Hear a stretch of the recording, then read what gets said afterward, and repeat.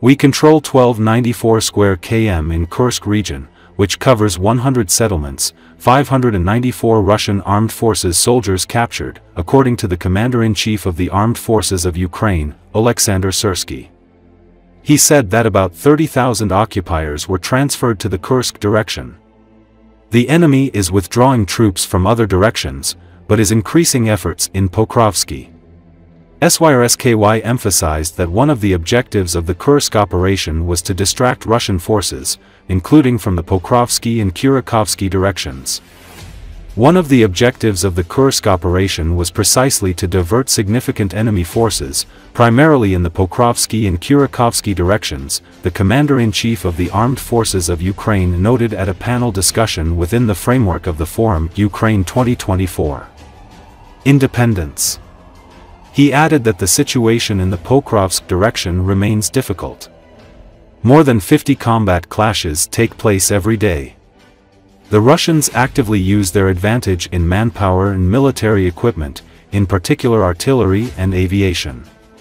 Syrsky noted that the main offensive actions are being conducted by new infantry groups. Russia is trying to knock out the section of the road Kostiantynivka-Pokrovsk, by which it is trying to disrupt the logistical connection of the Ukrainian defense forces, he says. Syrsky adds that the Russians are advancing in this direction at a very high cost. On average, Ukrainian soldiers neutralize 300 invaders every day in this direction. Work is actively underway on the daily equipment of our positions and defense lines, the commander-in-chief notes. He adds that despite the difficult situation, Pokrovsk remains under the control of the Ukrainian military.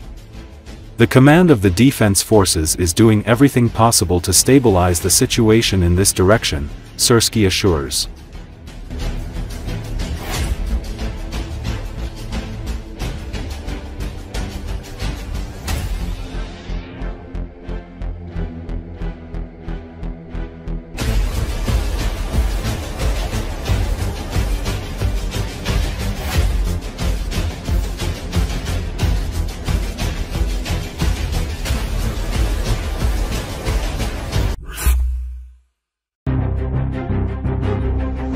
The ranks of Russian Z patriots have become completely disillusioned with Russian President Vladimir Putin after the Ukrainian armed forces successfully entered the Kursk region.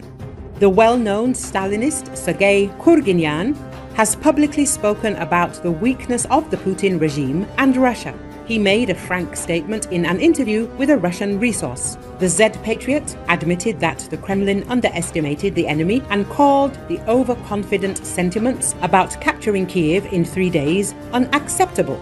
Kurginyan very harshly criticized the Russian army, which slept through the Ukrainian offensive in the Kursk region. The army was at the toilet. No one needed it. It was almost an atavism. This shitty situation cannot be corrected by a patriotic cry. Why is everything not like this? Why aren't you in Kiev? Why aren't you in Warsaw? Why are the generals so bad? And where will the good ones come from? said the Russian ultra patriot. He also mocked Russian dictator Vladimir Putin and his threats against the West. What red lines are you talking about? We'll do this and that. We'll blow everyone away. Is there a blow up?